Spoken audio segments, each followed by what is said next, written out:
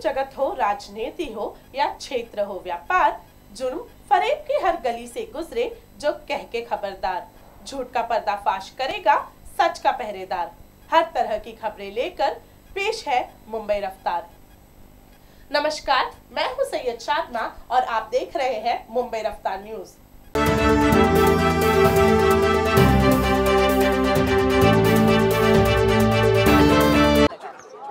अच्छा सबसे अच्छी बात जो इसमें लगी कि किस तरह से सरकारों ने, हमारी गवर्नमेंट ने जो उस टाइम पे जो गवर्नमेंट थी, जो टेररिस्ट एक्टिविटी हो रही थी पिक पे था टेररिज्म हमारी कंट्री में, उसको उन लोगों ने अपने पॉलिटिकल फ़ायदे के लिए उसको दबाया।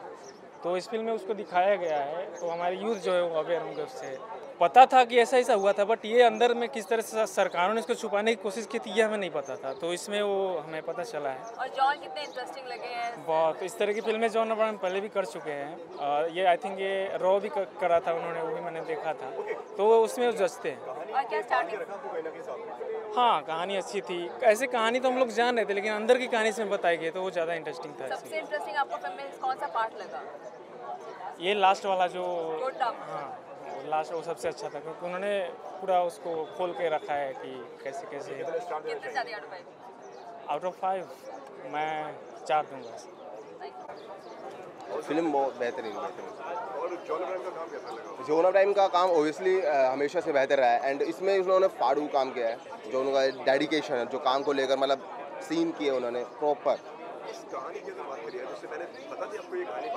क्या? नहीं नहीं बाटला उसकी स्टोरी नहीं पता थी एक्चुअली इसमें स्टोरी बेसिकली ये बताई गई कि मतलब जो लोगों की परसेप्शन है पुलिस को लेकर, जो जो अपने लोग पुलिस वाले काम करते हैं, उनको मतलब ये फेक काम करते हैं, ऐसा कुछ नहीं, दिखावटी टीआरपी के लिए करते हैं, ऐसा नहीं है, वो ओबियसली बहुत अच्छा काम करते हैं और लोगों की मतलब अपनी हेल्प बहुत करते हैं। जो उनका काम स्टार्टिंग से लेके एंड तक का मुझे अच्छा लगा। एंड सेकेंड हाफ़ तो मतलब एक अच्छे लेवल पर पहुँच गया।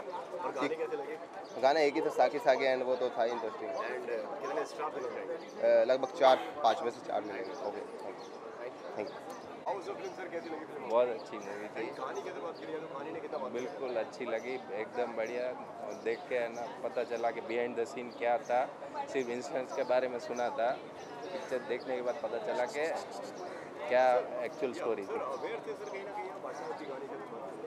हाँ सुना था मतलब जो एक्चुअल फिर जो पिक्चर देख के पूरी बैकग्राउंड की स्टोरी और क्या एक्चुअल हुआ होगा वो समझ में आया। बहुत ही अच्छी मूवी थी वैसे तो। वो तो हमेशा अच्छा ही एक्टर रहता है मुझे उसकी सारी मूवीज़ पसंद आती है। उसमें सब कुछ दिखाया था कि बाटला हाउस में मतलब एनकाउंटर कैसे किया था क्या सच था क्या झूठ था। दिल्ली पुलिस को जो ब्लेम किया था वो सब झूठ था। सब कुछ दिखाया गया था इस म्यूज़िक में थोड़ा ही अच्छा लगा बट फिर भी म्यूज़िक का जो गाना था वो अच्छा था। मैं इस मूवी को फोर एंड हाफ़ स्टार्स अच्छी थी। मतलब अच्छा है तो है? ऑफ़ कोर्स नो डाउट अच्छा था। इंडिपेंडेंस डे के लिए तो ये बहुत ही अच्छा फ़िल्म था। क्या क्या क्या हाँ? मैंने स्टोरी सुनी थी उसकी। I am also an advocate तो वी नो अबाउट इट तो this was very good thing के इंडियन पुलिस के बारे में जो ऑल द ये दिए गए थे उसके लिए बहुत ही अच्छा जॉन ने प्रूव किया था and specially the last part of the film is very nice इस डायलॉग जी जी जी पता था ये बाटला हाउस का। वेरी नाइस वेरी नाइस बहुत अच्छा था। ऑथेंटिक लगा आपको? ऑथेंटिक तो था ही। यस विद एंटरटेनमेंट जॉन की परफॉर्मेंस की बात करें तो सुपर्ब सुपर्ब जॉन तो बहुत अच्छी तरह इस किरदार को निभाया है इस फ़िल्म में. जॉन के अलावा किसी और ने आपको इम्प्रेस किया काम जॉन बस. और कुछ एंटरटेनमेंट फैक्टर है एक सॉन्ग है ना साकी साकी बस. Otherwise no need for the full movie was entertaining only five out of five